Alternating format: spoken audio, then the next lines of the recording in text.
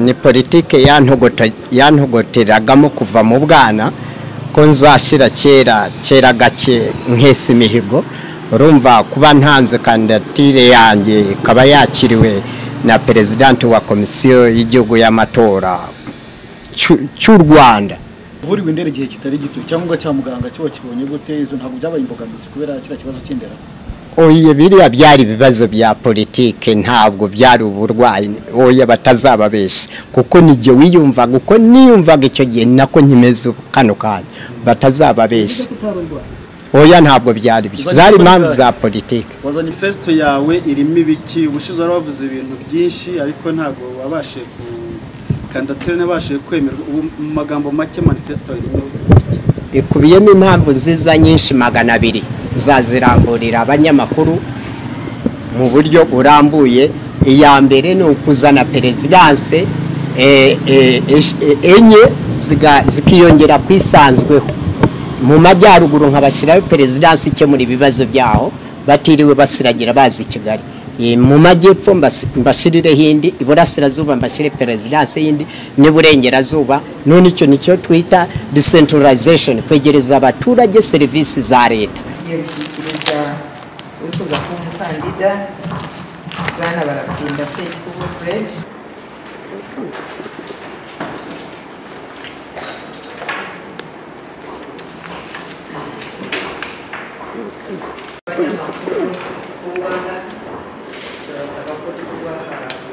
ibyangombwa umunyamakuru kandi ushaka umukandida aba yasabye kandi tumaze kubisubiramo kenshi kandi turabubaha gusaba ko nabo bashaka bazabikora ngo ntabwo biba byemewe uko bisanzwe ibikorwa bikurikiyeho ni ugushyikiriza ah, umukandida ni uguha umukandida ah, kopi igaragaza ibyangombwa yatuzaniye ah, agasigarana kopi natwe tugasigarana kopi Ah, ugasi- urashyiraho umukono nanjye ndashyiraho umukono dusigarane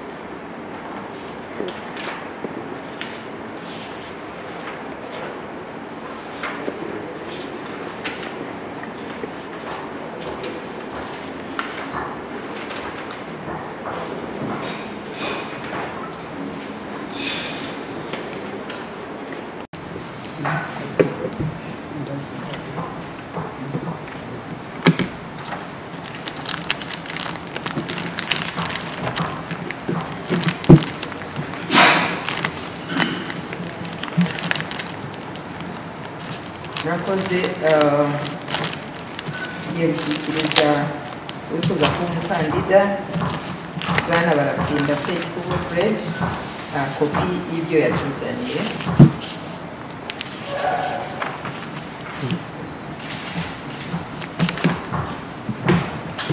ndagira ngo tubashimire nawe tumushimire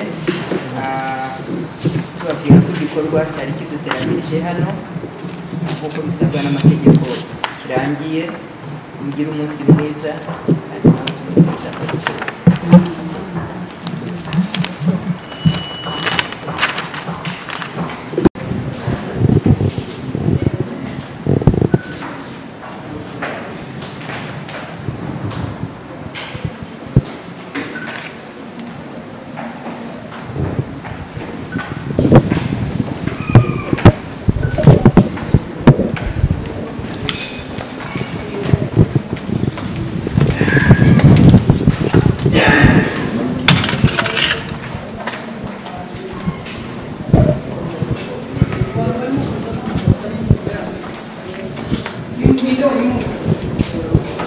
Seciko Fred. Yes. maze gutanga kandidatire yawe Eh, tumaze Wizeye? kubitanga. turizeye twagiye tubibatangariza ko twiyizeye kandi twiyaminiye.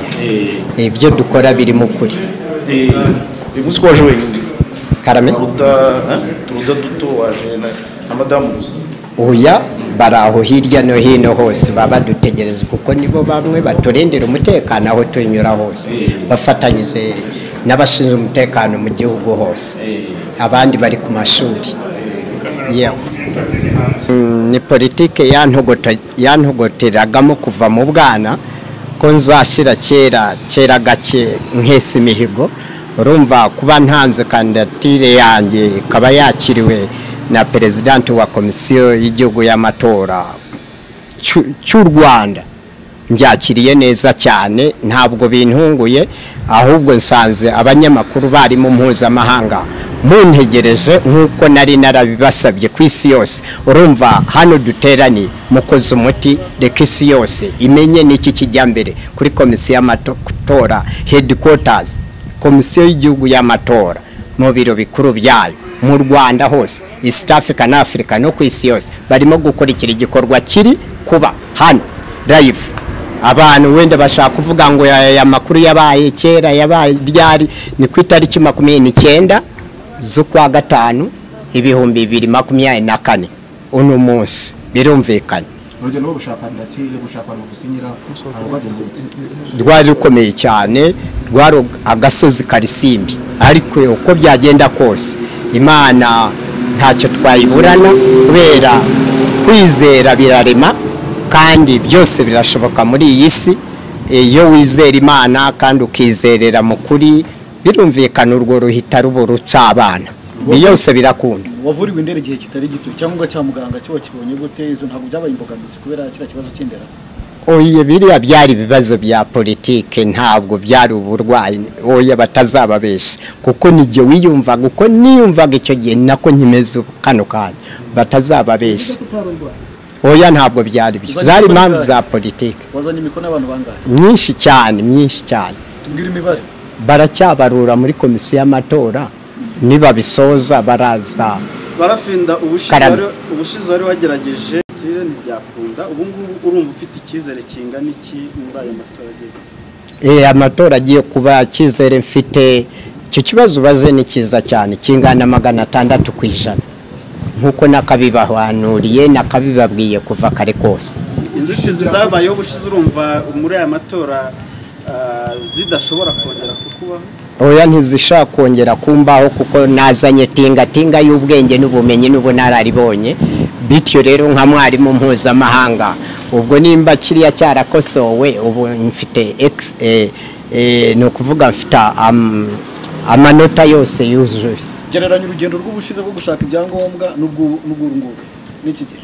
Eh, eh, by'icyo gihe kuko eh, byari abantu nkibigisha politike batinya politike mu rwanda abantu batinya no guhagarara ahantu cyangwa mu modoka baganira kuri politike. Kuko icyo gihe maze kuyizana nyigishije abantu mu rwanda east africa na africa no ku isi yose baze kuyimenya.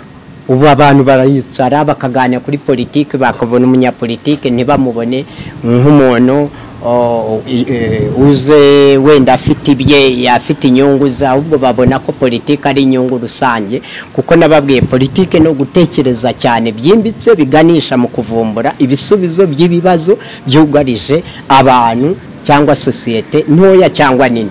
Urumva rero politiki icyo gihe bayibonaga nk'ikirunga nk'ikibombe cyabahitana ariko ubu politiki bayibona neza. Nurumva rero aho nanyuraga hose ngereranyije ubushize n'ubu politiki kuva nababwira ko ari igifute ubu barayikunze urugendo rumeze neza nanjye biranyorohera. Aho ngana narahatunganyije koko muri politiki. manifesto yawe irimo ibiki? Ubushize wari wavuze ibintu byinshi ariko ntabwo wabashije ku kandidatire ntibashije kwemerwa mu magambo make manifesto irimo ikubiyemo impamvu nziza nyinshi magana abiri. Zaziramburira abanyamakuru mu buryo burambuye. Iya mbere ni ukuzana perezidanse eh, esh- eh, enye zikiyongera ku isanzweho mu majyaruguru nkabashyiraho perezidanse ikemura ibibazo byaho batiriwe basiragira bazi i kigali. Mu majyepfo mbashirireho indi iburasirazuba mbashire perezidansi y'indi n'iburengerazuba. None icyo ni cyo twita decentralization kwegereza abaturage serivisi za leta. Na imigirasiyo ni uko nzabikora nabo mbegereze none abashaka ibyangombwa kujya mu mahanga bajye babifatira mu ntara zabo mu turere twabo mu mirenge yabo. Urumva ngiye koroshya ibintu ah, mu gihugu mu buryo budasanzwe. Urumva utwo ni udushya umusaza w'umunyapolitike mwiza w'amahoro umukandida ku mwanya w'umukuru w'igihugu cyacu cya repubulika y'u rwanda. Ukwiriye kukiyobora koko abantu bakumva icyanga cya politike nziza na politike itogotera mu rutirigongo rw'umuntu akavuga kweri wawe. Iyi ni politiki umusaza barafinda. Sekibo fred azanye nziza cyane. Yikosora izakosora east africa na africa n'isi yose. Ni ukuvuga impamvu mfite ni magana abiri ku rwanda n'ibihumbi bibiri kuri afurika n'ibihumbi makumyabiri ku rwego rw'isi. Izo mpamvu zazirambura murakoze. Cyane nanjye kumpa amahirwe menshi cyane.